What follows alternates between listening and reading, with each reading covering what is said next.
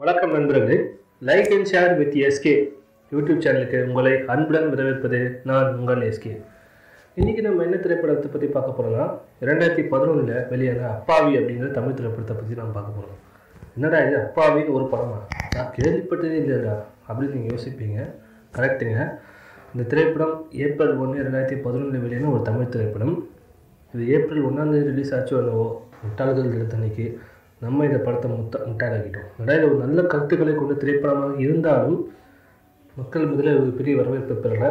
So இந்த படம் வந்து நீங்கள் எந்த வெப்சைட்லேயும் வந்து சரி அவைலபிளாக இருக்காது. யூடியூப் மட்டுமே அவைலபிளாக உள்ள ஒரு திரைப்படம் தான் அது. ஸோ இந்த திரைப்படம் இன்றைய காலத்தில் இன்றைய சூழ்நிலையில் மிகவும் தேவைப்படும் ஒரு திரைப்படமாக இருந்துச்சு.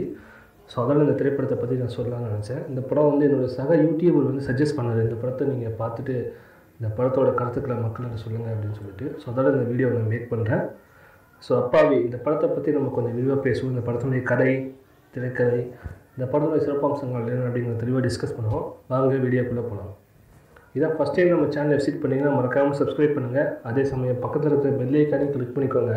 உங்களுக்கு வேறு லெவல் மூவி வியூவர்ஸ்க்கான அப்டேட்ஸ் உடனுக்குடன் நோட்டிஃபிகேஷன் வரும். அப்பாவி இந்த படத்துடைய கதை என்னென்னு பார்த்தீங்கன்னா ஆக்சுவலி நம்ம ஹீரோவுடைய பேர் வந்து பாரதிங்க. ஒரு ஒரு காலேஜ் ஸ்டூடெண்ட்டு மிகவும் அமைதியான ஒரு கேரக்டர் நம்ம உண்டு நம்ம வேலை உண்டு படிப்பு உண்டு அப்படிங்கிற கேரக்டர் அதே சமயம் மற்றவங்களுக்கு உதவணும் அப்படிங்கிற இடமும் மிகவும் அதிகமாக உள்ள கேரக்டர் ஸோ காலேஜில் அவருக்கு மிகவும் நன்மதிப்பு மரியாதை எல்லாமே இருக்குது மிகவும் நல்லா படிக்கிற ஸ்டூடெண்ட்டு அதே சமயத்தில் மிகவும் அமைதியான ஸ்டூடெண்ட்டாக இருக்கார்.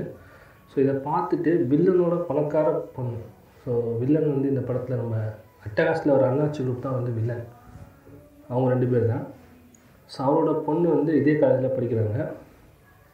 ஸோ அவங்க நல்ல குணங்களை கேரக்டரையும் பார்த்துட்டு ஹீரோயினுக்கு ஹீரோ மேலே காதல் ஏற்படுது. பட் இருந்தாலும் ஹீரோ மறுக்கிறாரு. பட் அதே சமயம் ஏன் மறுக்கிறார் அப்படின்னு பார்த்தீங்கன்னா ஹீரோ வந்து கொலைகள் பண்ணிட்டு இருக்காரு. யாருன்னு பார்த்தீங்கன்னா ஊழல் பண்ணுற அரசியல்வாதியில் கொலை பண்ணிட்டு இருக்காரு. அது மட்டும் இல்லாமல் அவங்க சாவறதுக்கு முன்னாடி அவங்களோட வாக்குமூலத்தை வீடியோ எடுத்து அதை எம்எம்எஸ் அனுப்பி டிவி சேனல்ஸ்க்கு எம்எம்எஸ் அனுப்புகிறாரு அவங்க ஃபோன்லேயே எப்படி அவங்க ஃபோன்லேயே எம்எம்எஸ் எடுத்து அதை எல்லாருக்கும் அனுப்புகிறாரு சேனல்ஸ்க்கு டிவி பத்திரிகை எல்லாருக்கும் ஸோ இவரோட பேர் வந்து எம்எம்எஸ் கொலகாரன் அப்படின்னு ஆயிடுச்சு. ஸோ இது மக்கள் மத்தியில் ஒரு நல்ல வரவேற்பு இருக்குது இவர் கொலை கொலை குற்றவாளிகளையும் தீவிரவாதிகளையும் அதே சமயம் ஊழல் பண்ணுற அரசியல்வாதியும் தேடி தேடி கொலை பண்ணுறாரு ஸோ இவரை இவர் வந்து இவர் கிராஸ் பண்ணுற விஷயங்கள் டெய்லி நியூஸில் படிக்கிற விஷயங்கள் இல்லை இவர் அடிக்கடி கிராஸ் பண்ணுற விஷயங்கள் இவர் சுற்றி நடக்கிற சூழ்நிலைகள் அது நடக்கிற விஷயங்கள் அதான் மக்கள் என்ன மக்கள் பாதிக்கப்படுறாங்க அதை யார் பண்ணுறாங்க அப்படிங்கிறத கண்டுபிடிச்சி இவர் மிகவும் கொலை பண்ணிகிட்ருக்காரு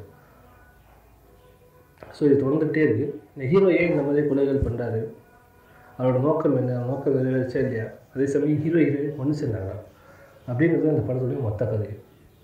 இந்த படத்தோட டேரக்டர் வந்து பி ரகுராஜ். அவர் மிகவும் சிறப்பாக பண்ணியிருக்காரு. இந்த படம் என்ன லோ பட்ஜெட் ஃபிலிமாக இருந்தாலும் அவரோட ஸ்க்ரீன் பிளே வந்து இந்த படத்துக்கு ஒரு நல்ல அப்படின்னு சொல்லலாம். அது மட்டும் இல்லாமல் இந்த படத்தோட நல்ல ஒரு முக்கிய காரணம் ஹீரோ ஹீரோவான கௌதம். அவர் தான் இந்த ரோல் பண்ணியிருக்காரு. மிகவும் சிறப்பாக பண்ணியிருக்காரு. அவர் நிறைய அந்த அப்பாவியாக நடிக்கிற சீன்கள் ஃபார் எக்ஸாம்பிள் ஃபஸ்ட்டு ஒரு சீன் வரும். அவர் ஃபோன் பேசிகிட்டு இருக்கிறவங்ககிட்ட மிகவும் அப்பாவி. அதே சமயம் அவர் கொலை பண்ணிட்டு இருப்பார் சுடுவார். ஸோ அந்த ஒரு சீனாக இருக்கட்டும் இன்ட்ரோவாக இருக்கட்டும்.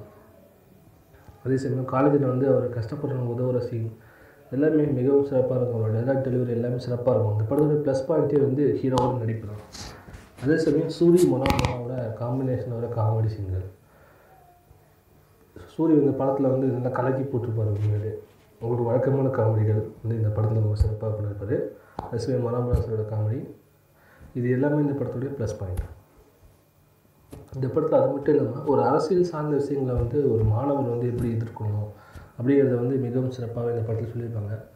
ஸோ அரசியல் பேசாதீர்கள் அப்படின்னு டீக்கடையில் போட்டு போட்டு அழைச்சிட்டு அரசியல் பேசுங்க அப்படிங்கிறதும் ஆகட்டும்.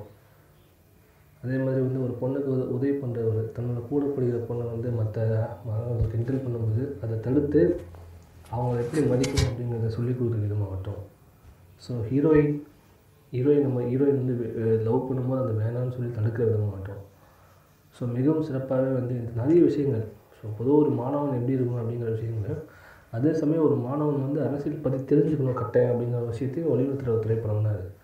இந்த திரை இந்த சுச்சுவேஷனுக்கு கண்டிப்பாக இந்த நம்ம திரைப்படத்தை பார்த்தே ஆகணும். ஏன்னா இந்த காலத்தில் இப்போ நம்ம நடக்கிற விஷயங்கள் நிறைய வந்து ஹேண்டில் பண்ணியிருப்பாங்க.